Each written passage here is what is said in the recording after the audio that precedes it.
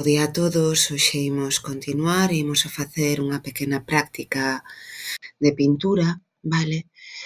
O primeiro supoño que é empregar ou explicar un pouco as ferramentas que imos que imos empregar. Entón, a primeira é o picker, vale? Que é o picker, o picker tamén chamado aquí recollecor.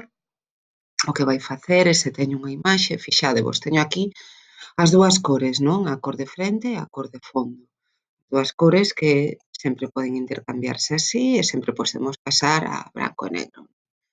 Entón, cando collo a ferramenta Picker e lle dou un píxel da imaxe, recolle a cor que había nese píxel, tan sinxelo como iso. Non? Entón, se por exemplo estamos cun pincel, estamos pintando, escribindo, podemos coller a cor que está ao lado do pincel, de acordo?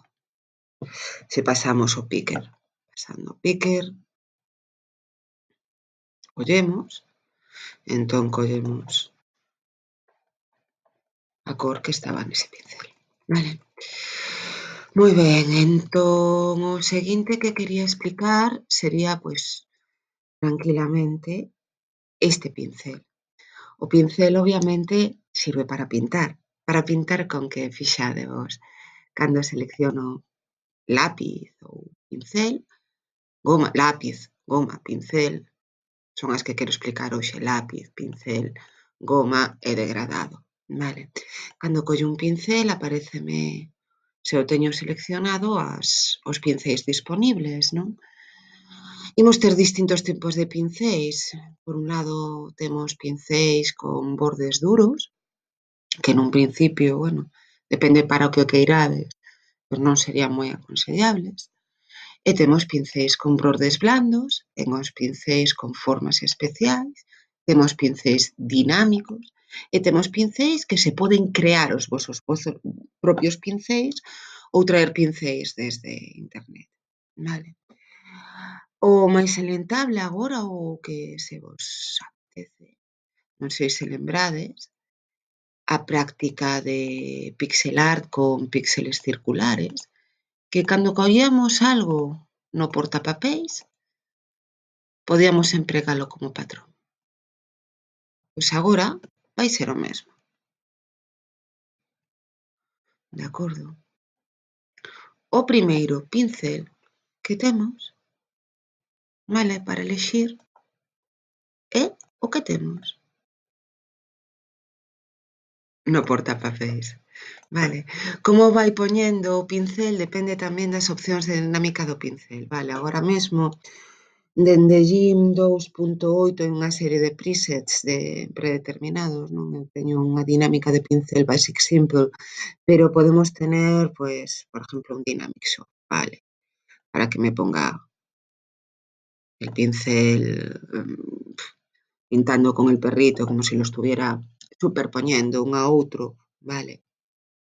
Todas estas dinámicas, pois, penso que os vou las vou explicar mañá ou pasado.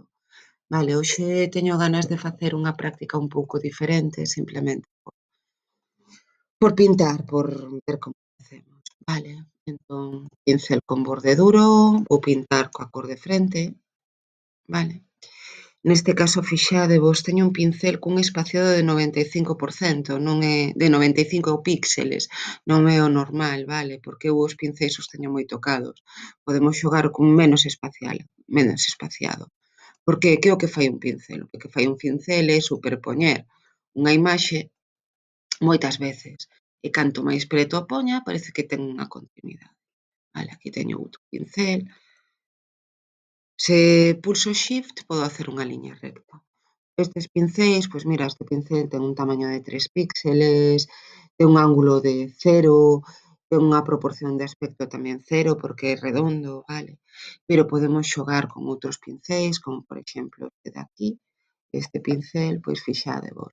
Xa ten un tamaño de 51 píxeles que eu podo cambiar en calquera momento, ten unha proporción de aspecto xa diferente, fixade vos, a que podo xogar, podo xogar coa inclinación do meu pincel, por exemplo, e por suposto podo xogar co espaciado, a dureza, forzar e meterlle incluso unha dinámica como podería ser a de confeti, que incluso cambia, xa non só como se como se aplica o pincel, senón as cores do pincel dende a cor de fondo ao cor de frente en un degradado, vale? Entonces, se eu elixo, pois, por exemplo, marrón e este beige, vai pintar en esas dúas cores. Bueno, pode estar ben, ás veces. Vale, depende do efecto que queramos sempre facer. O de pintar, o de mate painting é un pouco... Hai moitos vídeos, como xa vos dixen na, no, na carta que vos enviei hoxe, moitas técnicas. Vale. Entón, sin enrollarme moito máis, vou coller aquí neste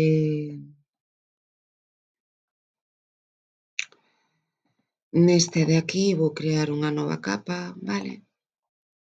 Simplemente, mm, a capa en que forma, no, no así, no, en forma normal, vale? Esta outra vou eliminar, vale?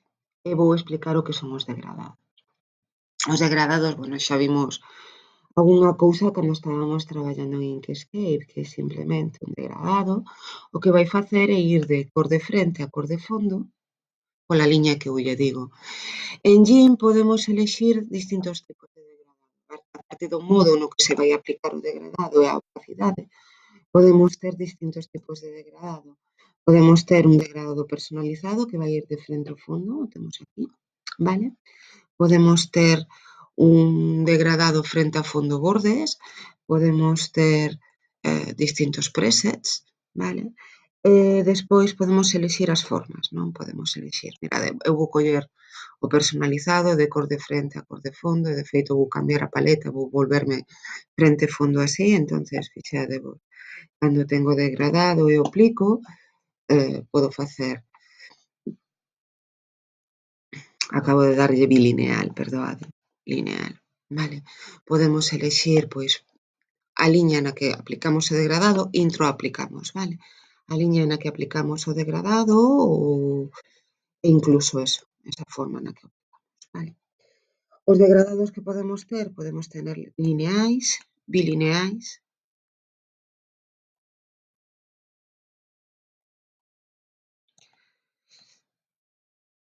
De acordo. Podemos ter tamén radiais, vale? Pero imos a ter máis formas, ademais das que tiñamos en, en Quesqué, podemos ter un degradado cuadrado, podemos ter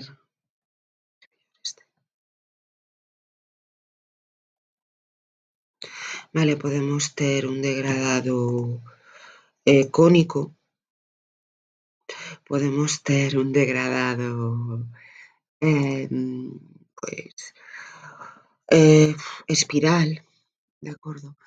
E incluso eses degradados, como vedes, se poden editar. Entón, bueno, as posibilidades son moitas. Vale, a ver, remato entón a primeira parte que explico estas ferramentas. Repito, picker para coller colores. Degradados de frente a fondo, de fondo a frente degradados especiais con distintos modos e distintas formas. Vale, nos imos empregar hoxe a normal, a forma lineal do degrado. Vale, eh, lápiz, que pode coller un pincel, o pincel que nos queiramos, os pincéis ese vos, dixe, vos dixen que se poden editar e se poden poñer das dimensións que vos queirades, entón, isto é demasiado. Ademais, non quero dinámica confeti, quero un dynamic soft e quero...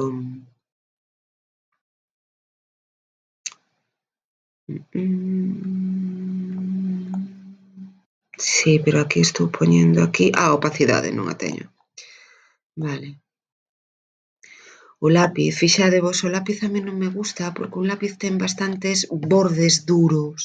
Non podo seleccionar moito ese pincel, ten aí un eh, casi ás veces é, é mellor o pincel, pero xa vos digo, depende moitas veces, imos ver a comparativa, se queredes, do pincel que teñamos, vale? Entón, fixadevos, vos O lápiz presenta este aliase en estes dentes de serra que non son nada naturais, que poden interesarme se quedo facer liñas, pois non sei, en algún momento, pero non moito, e para a pintura interesa máis un pincel, aínda que sexa un pincel con borde bordes duros, vale?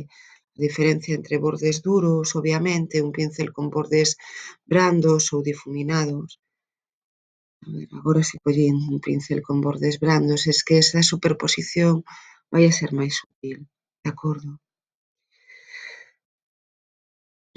Mesmo tamén podemos xogar, penso que non estaba posta a coa dureza do pincel, vale?